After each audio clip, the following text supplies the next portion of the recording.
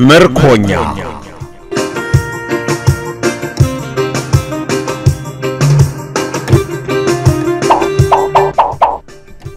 ደራሲ ቆንጂት ብርሃን።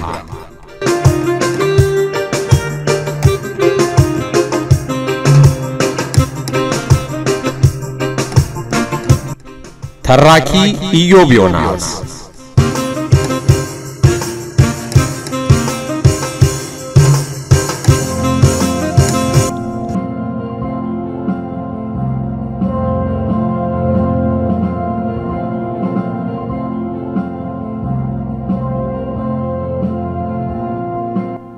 ክፍል 13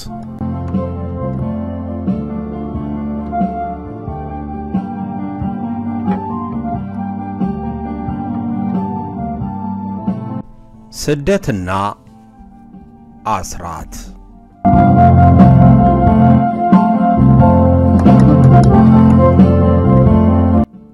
የተደረገውን የቤት ለቤት አሰሳ በመቃወም የፕሮፓጋንዳ ሥራ ለመስራት በሁሉም አካባቢዎች ዝግጅቱ ተጠናከረ። ለሥራው የሚያስፈልጉ ዕቃዎች በሙሉ ተሟልተዋል። ወጣት ሁሉ በሥራ ተወጠረ። ለአፍታ እንኳን አረፍ ሳይሉ ሲባክኑ ውለው ማደር ከጀመሩ ሰንብተዋል። እዚህ ቀጠሮ፣ እዛ ቀጠሮ፣ ማታ ደግሞ የተግባር ሥራ። ቅድመ ዝግጅቱ በተጠናቀቀበት ዕለት ከቀኑ ዐሥር ሰዓት ላይ ፍሬ ሕይወት ከድካሟ የተነሣ የማቅለሽለሽ ስሜት ተሰማት። ኪሷን ስትፈትሽ አራት ብር አገኘች። በአቅራቢያው ወዳለች ኪዮስክ ተጠጋችና ለስላሳ ጠየቀች። ለስላሳውን ከፍቶ ሲሰጣት በአንድ ትንፋሽ ጨለጠችው። የለስላሳውን ጠርሙስ ለባለሱቁ መስጠቷንም እርግጠኛ አይደለችም። ብቻ ምድር ሰማዩ ዞረባት። ሆዷ ግልብጥብጥ፣ ልቧም እንደ መክዳት አደረጋት። በፍጥነት ተቀመጠች። የጠጣችው ምሪንዳ እንደ ፈነዳ የቧንቧ ውሃ ተረጨ። ምንም ነገር በሆዷ ውስጥ ሳይቀር አስመለሳት። በመጨረሻ መራራ ሐሞት ወጣ። ቀና ብላ አካባቢውን ተመለከተች። ባለሱቁ ግራ ገብቶት ይመለከታታል። ውሃ አለችው በደከመ ድምፅ። ውሃውን ጠጣች። ሲተረማመስ የነበረ ሆዷ የተረጋጋ መሰላት። በግንባሯ ላይ ችፍ ብሎ የነበረው ላብ ቀዝቀዝ ሲል ተሰማት። ጠራረገችው። እፎይ አለች በረጅሙ ተንፍሳ። ግቢና ትንሽ አረፍ በይ አላት ባለሱቁ በሐዘኔታ። አይ ምንም አይለኝም እግዚአብሔር ይስጥልኝ አለች የለስላሳውን ዋጋ እየከፈለች። በቀጥታ ወደ ቤቷ ተመልሳ ገብታ አልጋዋ ላይ ከተዘረረች በኋላ ነው ሰዓቷን ያየችው። ለአስራ አንድ ሰዓት ሩብ ጉዳይ ሆኗል። አንድ ሰዓት ያህል ጊዜ አላት። ትንሽ ማረፍ ትችላለች። ዐይኖቿን ጨፍና ሰውነቷን ዘና ለማድረግ ሞከረች። ሐሳቧ ግን ሊተርፍ አልቻለም። የሚጠብቃትም ሥራ የሚያሳርፍ አይደለም። ቢሆንም አልጋዋ ላይ ጥቂት መቆየት አለባት። አሊያ ሊያማት ይችላል። ዐሥራ አንድ ሰዓት ተኩል ሲሆን ከተኛችበት ተነስታ ወደ ጓዳ ስትገባ እናቷ የተለመደው ቦታቸው ላይ ተቀምጠው ምስር ይለቅማሉ። እኔስ ተመልሰሽ ወጣሽ መስሎኝ ነበር አሏት። ቀና ብለው አይተዋት። ምን ነው ፊትሽ ጥሩ አይደለም፣ ምን ሆነሻል? አሏት የሚለቅሙበትን ሰፌድ እያስቀመጡ እጭናቸው ላይ ጋደም ብላ ራሷን እንዲያሻሿት ተመኘችና ሐሳቧ ፈገግ አሰኛት። ኧረ ምንም አልሆንኩም፣ ተኝቼ ስለተነሳው ይሆናል አለች ቀልጠፍ ለማለት እየሞከረች። እናቷ የምትበላውን ሰጥተዋት ተመልሰው ወደ ምስር ለቀማቸው ገቡ። እናቷ የሰጧትን እንጀራ ለመጉረስ እየሞከረች ሰሞኑን እንጀራ መጋገር እንኳን ሳታግዛቸው መቅረቷ ተሰማት። እማ ሰሞኑን ሥራውን ሁሉ ተውኩልሽ አይደል? አለች ይቅርታ በመጠየቅ አይነት። ኧረ እባክሽ ተመስገን ነው የሚሰራው አይጥፋ፣ ምንም አልከበደኝም አሉ ወይዘሮ ስርጎት። ከነገ ጀምሮ ወደ መደበኛ ሥራ ይገባለሁ፣ አግዝሻለሁ አለቻቸው በማረጋገጥ አይነት። ምን ነው ችግር አለ እንዴ? ይሄን ዙረት ልትተይ ነው አሏት መልቀማቸውን ቆም አድርገው። ከችግር ጋር መኖር ከጀመርን ቆየን አይደል አለቻቸው ባጭሩ። ምን ነው ቢበቃችሁ ምን እስክትሆኑ ድረስ ነው? እርሱ እንደሆነ ንቅንቅ አላለ አሏት። ከእናቷ ገጽታ ላይ ጭንቀት ተመለከተች። እማ ከድል በፊት ምን ማብቃት አለ ብለሽ ነው አለችና ወደ መኝታ ክፍሏ ገባች። ክፍሉ ውስጥ ገብታ ጥቂት ቆም አለች። የቀጠሮዋ ሰዓት እየደረሰ ነው። በቀጠሮ የተሞላ ሕይወት፣ እንቅስቃሴያቸው ሁሉ ጥንቃቄ የተሞላበት ከሆነ ቆይቷል። እናም ጥቂት አሰብ አደረገችና ተስማሚ ሊሆን የሚችል ቦርሳ አውጥታ አንዳንድ ነገሮችን ከተተች። በችኮላ ልብሷን ቀያየረች። ካሏት ልብሶች የተሻለውንና ምቹውን መርጣ ለበሰች። የመኝታ ቤቱን በር ቆለፈችና ከወለሉ ላይ አንዲት ጣውላ አነሳች። ከጣውላው ስር የነበረውን ጆንያ አወጣችው። ያስቀመጠችው ዕቃ በካኪ ወረቀት እንደተጠቀለለ ጆንያው ውስጥ ነበር። ከአንድ አባል የተበረከተች ሽጉጥ ናት። ሳንቃውን እንደነበረ መልሳ በእግሯ ረገጥ አደረገችው። ራቅ ብላ ተመለከተችው። በፍጹም አያጠራጥርም። ሽጉጡ ደግሞ ለሚያስፈልጋቸው ጓዶች መድረስ አለበት። እናም ቦርሷ ውስጥ በጥንቃቄ ከታ ዘጋችና ለመጨረሻ ጊዜ ራሷን በመስታወት ተመለከተች። በሚገባ ዘንጣለች። በይ እስኪ ተጠንቀቂ፣ እኔንም ጨርሳችሁ አሳበዳችሁኝ። እባካችሁ ራሳችሁን ጠብቁ አሏት እናቷ ስትወጣ። ከግቢ ወጥታ ታክሲ ወደምታገኝበት ጥቂት እንደተራመደች ዳንኤልን ከፊት ለፊት ሲመጣ ተመለከተችው። ብስጭት አለች። መንገዷን ቀይራ ልትሄድ የምትችልበት ምንም አማራጭ መንገድ አልነበራትም። እንዲህ ሽክ ተብሎ ወዴት ነው አላት ዳንኤል ከግር እስከ ራሷ እየተመለከታት።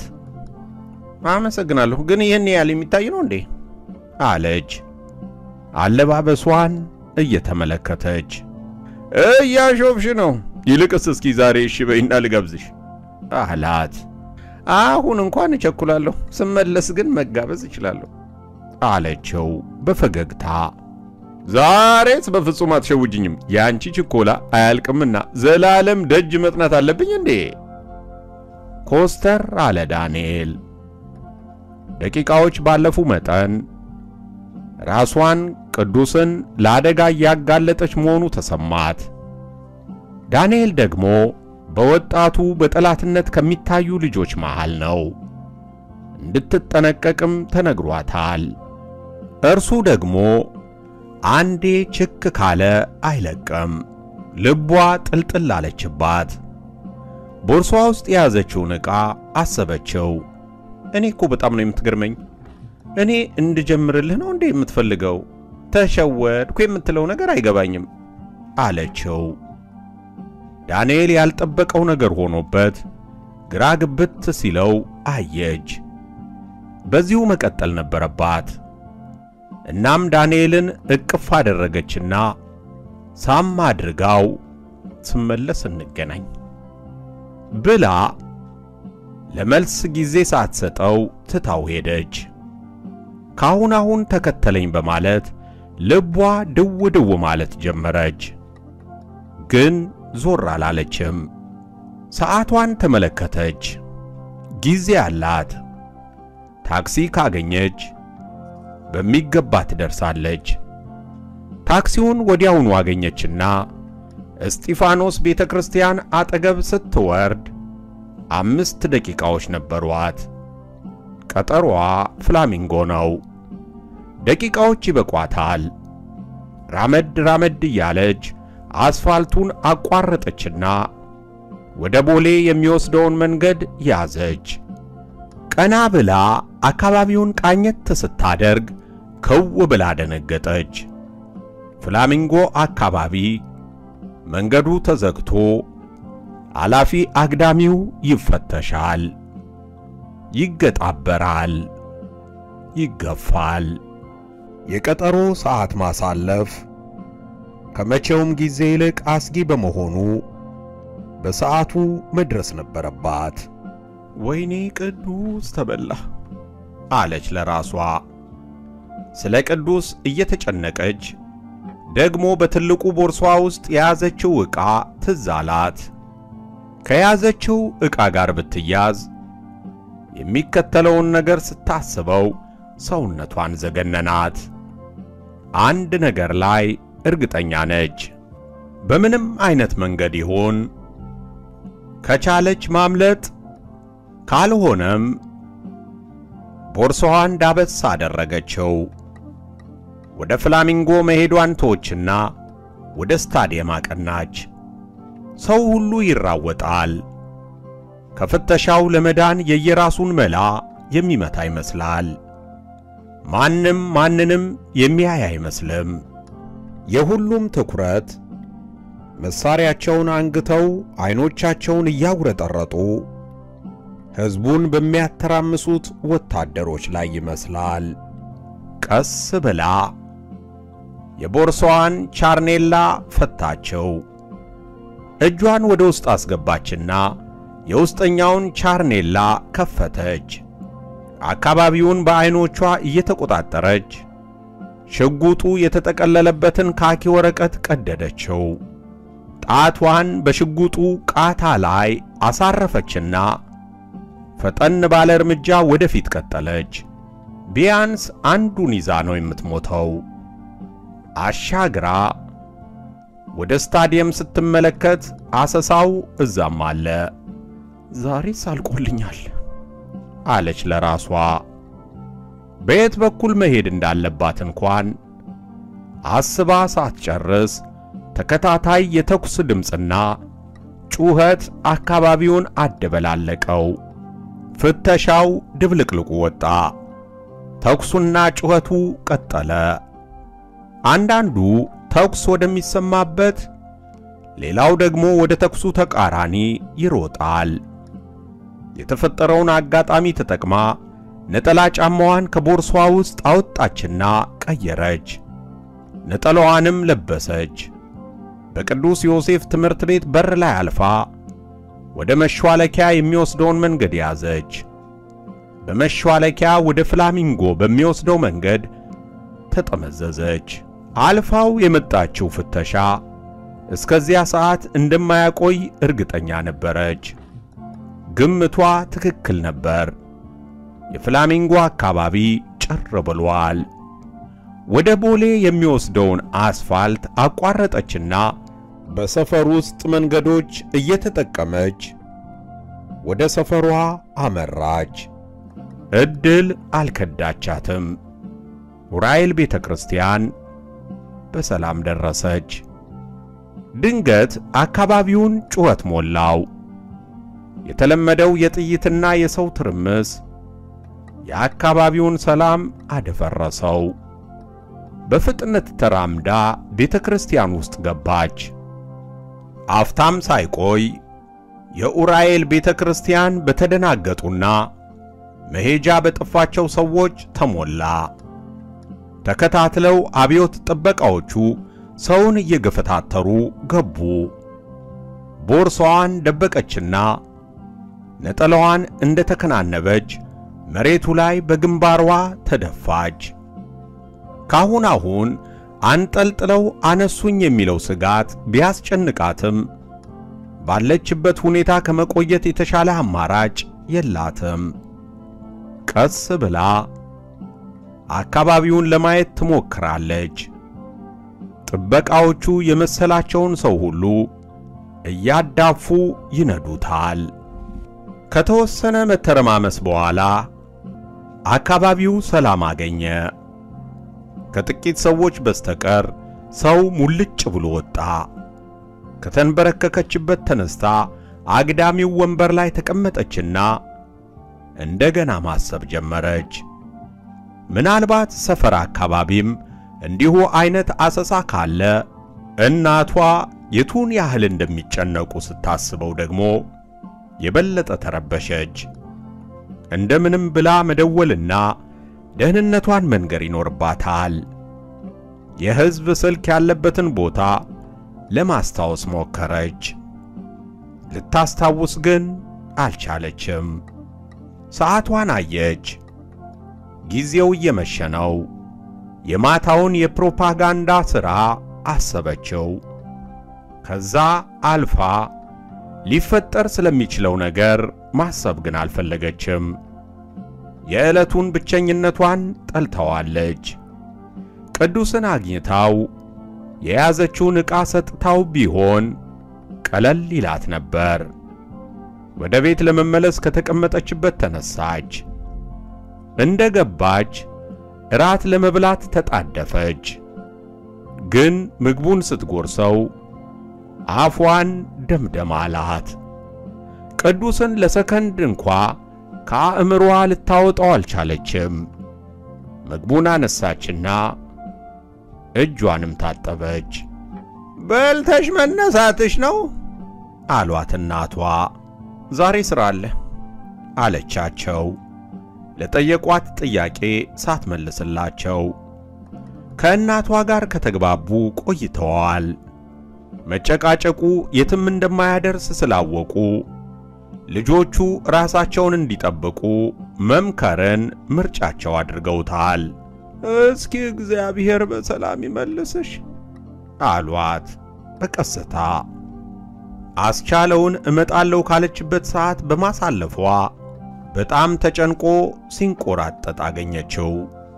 በደህና ነው አላት እርሷ መሆኗን ሲያረጋግጥ። ለዛሬ ተርፌያለሁ አለች ቁና ቁና እየተነፈሰች። እቅዳችንን ሁሉ በእጃቸው ያስገቡ ነው የሚመስሉት አለች ተስፋ በመቁረጥ ሁኔታ። እባክሽ አባባም መረጃ የደረሰው ነው የሚመስለው። ልክ እንደ ቀበሌ ጥበቃ ጋቢውን ተከናንቦ በረንዳ ከተቀመጠ ጊዜ የለውም። እንዴት ይሻለናል ታዲያ? ሰፈራችን ግን ትንሽ መረጋጋት ይታይበታል አለችው የገጠማትን አስታውሳ። አንድ አማራጭ አለን። ቆሻሻውን እንደማትጠየፊ እርግጠኛ ነኝ አላት አስቻለው። ከጥይት ቆሻሻ አይሻልም ብለህ ነው አለች አስቻለውን እየተከተለች። በአጥርና አጥር መሃል ባለ ቀጭን መንገድ ውስጥ ገቡ። አስቻለው ጎንበስ አለና በአጥር ስር ባለው የቆሻሻ ፍሳሽ መውረጃ ላይ ለውሻ መከላከያ የተወነጋገረውን እንጨት እያነሳ ወደ ጎን አደረገው። በይ ነይ አላት። አስቻለው በዐይኖቹም እያመለከታት ምንም አላመነታችም። እግሯን በቀስታ ወደ ቦዩ ሰደደችው። እግሯን ሲቀዘቅዛት ቆሻሻውን ውሃ አስባ ዝግንና አላት። ምርጫ የለም። ለመሽለክ ጎንበስ ስትል ተንፋጉ በአፍና ባፍንጫዋ ገባ። እንደምንም ሾልካ ገባች። እንደ ገባች አስቻለውን መጠበቅ ነበረባት። እነ ጋዲሳስ አለችው። አስቻለው ሲመጣ ከመጡ ቆይተዋል አላት። የአስቻለው አባት በረንዳ ላይ ተቀምጠው ቢያመሹም አንድም ወጣት ወደዚያ ቤት ዝር ሳይል መቅረቱ እርሳቸው እዛ በማምሸታቸው መሆኑን ለራሳቸው ቢነግሩትም በቅጥር ግቢያቸው ውስጥ ግን ወጣቶቹ የራሳቸውን ዝግጅት ተያይዘውታል። ትንሿ ያስቻለው ክፍል በቀለምና በአልኮል ሽታ ታፍናለች። ፍሬ ሕይወትና አስቻለው እንደ ገቡ ያስቻለው እናት የክፍሉን በር ቆልፈው ወደ ሥራቸው ሄዱ። ፍሬ ሕይወትና አስቻለው ጊዜ ሳያባክኑ ወዲያውኑ ሥራቸውን ጀመሩ። ማርከሮቻቸውን አንስተው ተቆራርጠው በተዘጋጁ ወረቀቶች ላይ ትላልቅ ቀይ ፊደሎች መጻፍ ጀመሩ። ወንበር ላይ የተቀመጠው ዘርአይ ቀለም በሌለው እስክርቢቶ ስቴንስሉ ላይ ይቀርጻል። ጋዲሳም ወለሉ ላይ በዘረጋው ጨርቅ ላይ እንዲሁ በትላልቅ ፊደላት መፈክሮች ይጽፋል። ዘርአይ ከወንበሩ ላይ ወደ ኋላ ለጠጥ ብሎ ተንጠራራና የቀኝ እጁን ጣቶች አፍታታቸው። ከኪሱ መሐረብ አወጣና እጆቹንና ፊቱን ጠራረገ።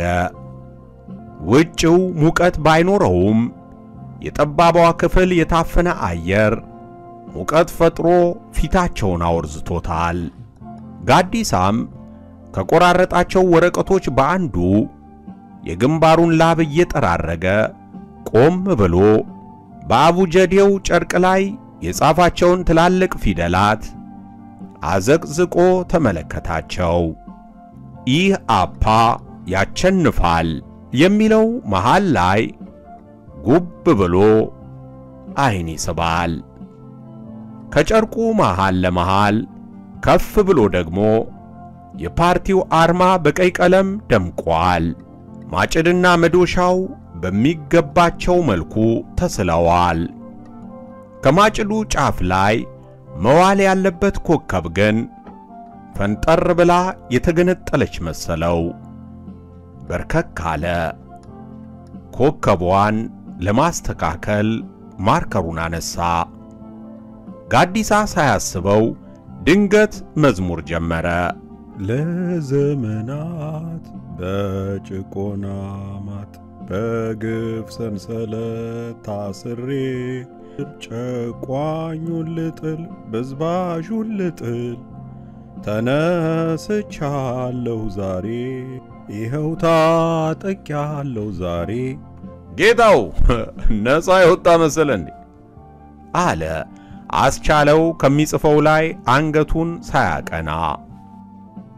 ዳፋህ ለኛም እንዳይተርፈንጃል አለ ዘርአይም ቀጠል በማድረግ ጋዲሳ ድምፁን በጣም ዝቅ አድርጎ መዝሙሩን ቀጠለ። አንድ እንደሚነሳ ተበዝባዡ ሁሉ ለማያጠራጥር ድሉ ፍጹም ነው እምነቴ፣ ትግሉ ነው ሕይወቴ፣ ልጓዝ በድል ጎዳና በወደቁት ጀግኖች ፋና። አስቻለውና ዘርአይም ሳያስቡት አብረውት መዘመር ጀመሩ። ወፈርና ለስለስ ያለው ድምፃቸው በዝግታ እንደሚወርድ ሙላት ውሃ ይፈሳል።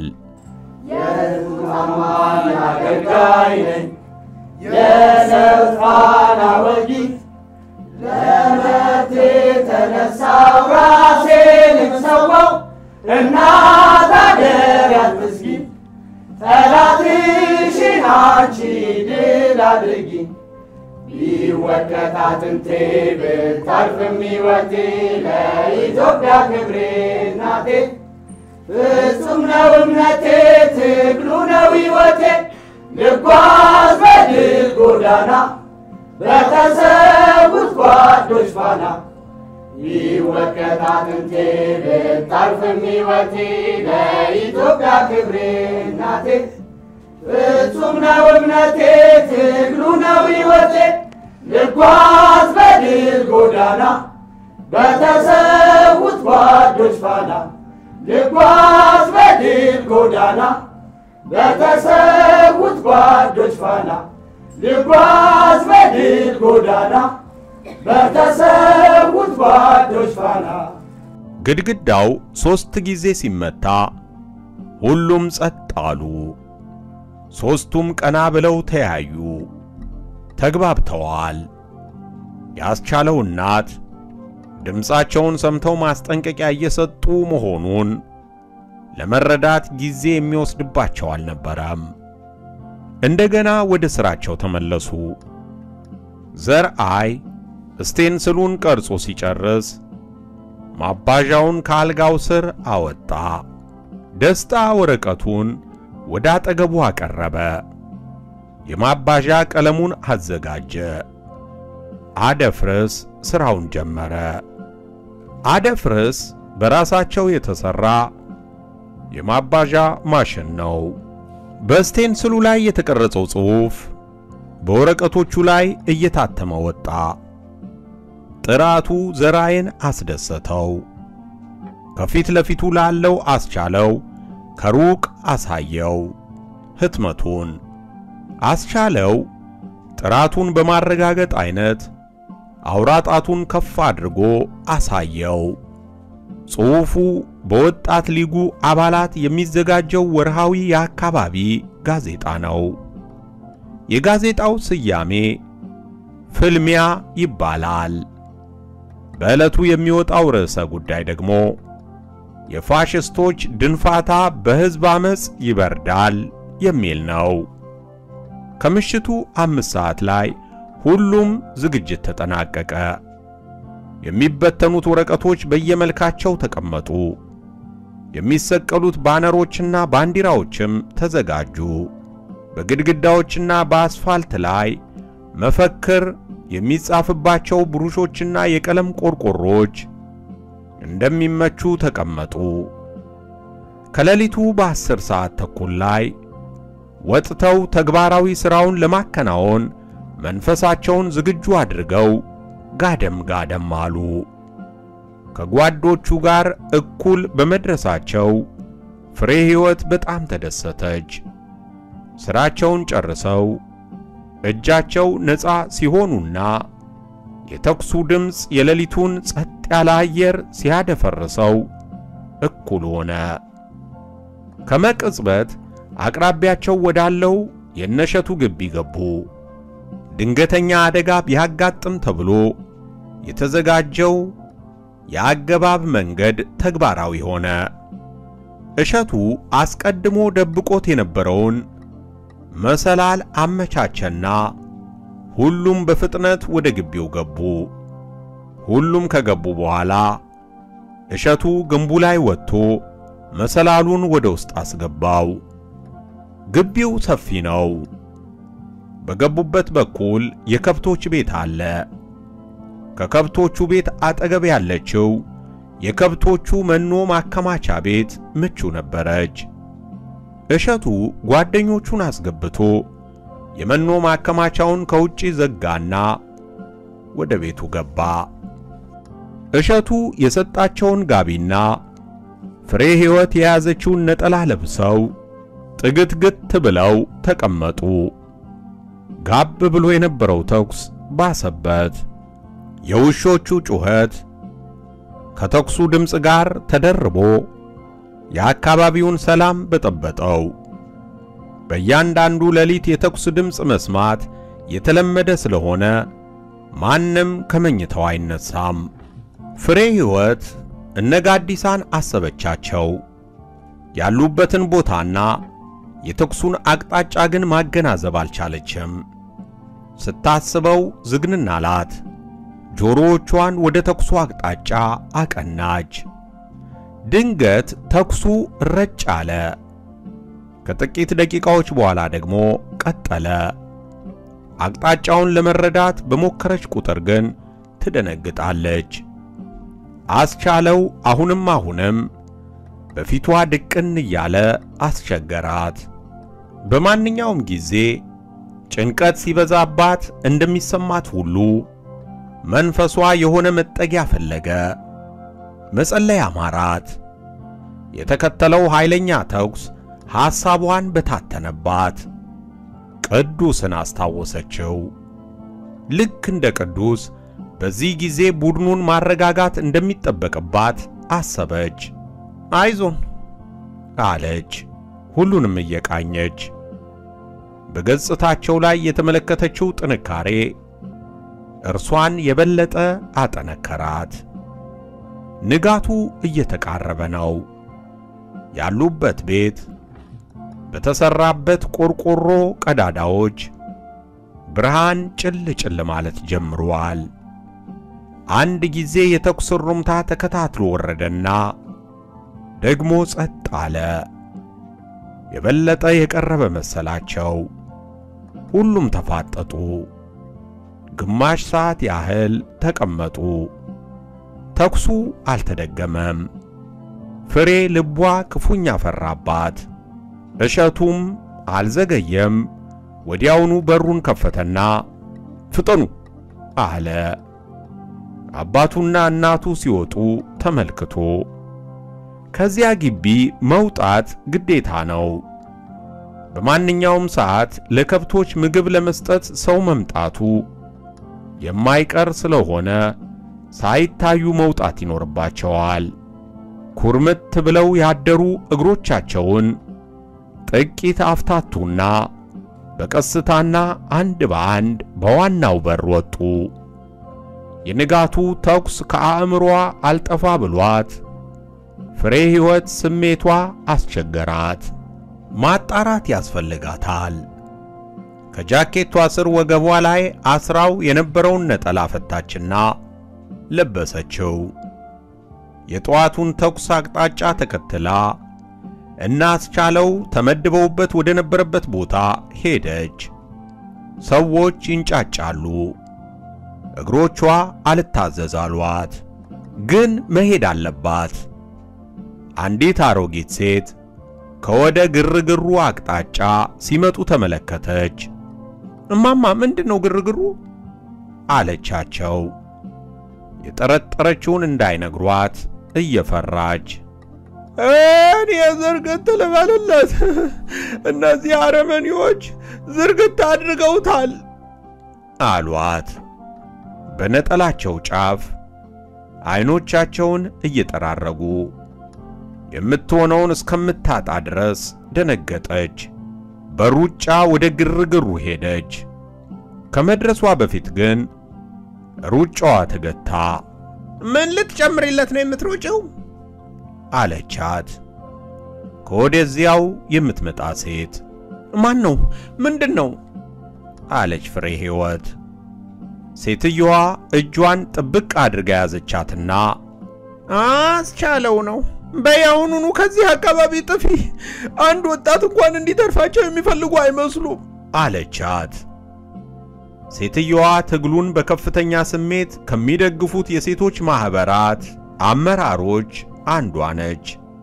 ለፍሬ ሕይወት በፍጹም ጊዜ አልሰጠቻትም። በፍጥነት ከዚያ አካባቢ እንድትጠፋ ጎተጎተቻት። በደመ ነፍስ የኡራኤልን መንገድ ተከትላ ሄደች። እንባዋ ዐይኖቿን አቃጠላቸው። ልትገታው አልቻለችም። ገነፈለባት። ለስንቱ ተለቅሶ ይዘለቃል ብለሽ ነው ልጄ? አሏት አንዲት ሴት ባጠገባቸው ስታልፍ። ቀደም ሲል የጠየቀቻቸው ሴት ናቸው። እርምጃዋን ቀነስ አደረገችና አብራቸው መሄድ ጀመረች። እማማ የሞተውን ልጅ ያውቁታል? አለቻቸው። እንዴት አላውቀው ልጄ? እንዴት ያለ ቀን ልጅ መሰለሽ! በሰላምታ ብቻ የማይጠገብ የተባረከ ልጅ ነበር።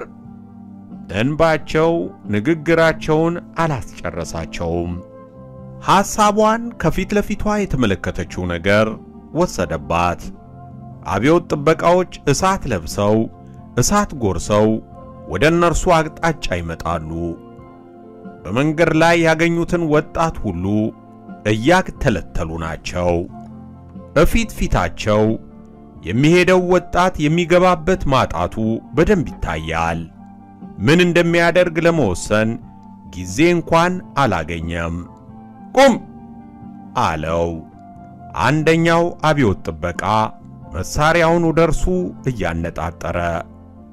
ልጁ አልቆመም።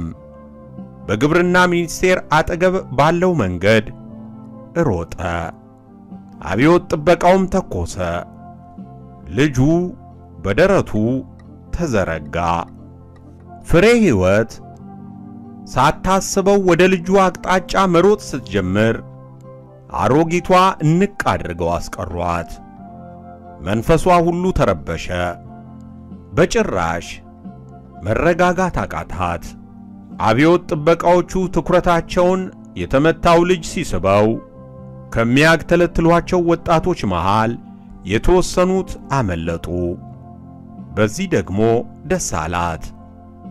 ደም የለበሱ አይኖቻቸውን እያጉረጠረጡ አብዮት ጥበቃዎቹ መንገዳቸውን ቀጠሉና እነ ፍሬ ሕይወት አጠገብ ደረሱ።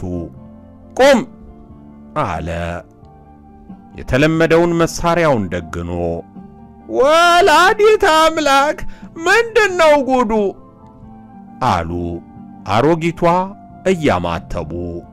ወዲህ ነይ ሸርሙጣ! እንደ መብረቅ ጮኸ አብዮት ጥበቃው።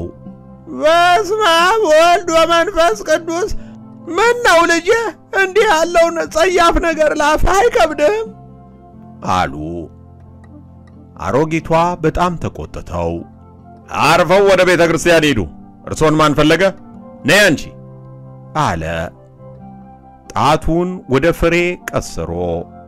ልጄ አብረን ውሰደን እንጂ ምን ይዤ እሄዳለሁ? ከእንቅልፏ ቀስቅሼ ከቤት አውጥቼ የት እገባለሁ? አሉት በማስተዛዘን ንዴታቸውን ሁሉ ትተው። ምንም ሳይመልስላቸው አልፏቸው ሄደ። እነርሱም ወደ ቤተ ክርስቲያን ሄዱ። ከሰዓት በፊቱ የጭንቅ ጊዜ እንደሆነ አለፈ። ሁሉ ነገር ያስጠላል። ሰው አልቅሶ ሐዘኑን የማያወጣበት ለለቅሶም መብት የታጣበት ጊዜ ላይ በመድረሱ ሐዘን ያልተሰማው ሰው አልነበረም። ፍሬ ሕይወት ላስቻለው አልቅሳ ሐዘኗን ባለመክፈሏ ውስጧ መረረ። ስሜቷን የሚጋሯትን ጓደኞቿን ልታገኛቸው ባለመቻሏም የበለጠ ተከፋች። ያስቻለውም እናት ከአእምሯ ልታወጣቸው አልቻለችም።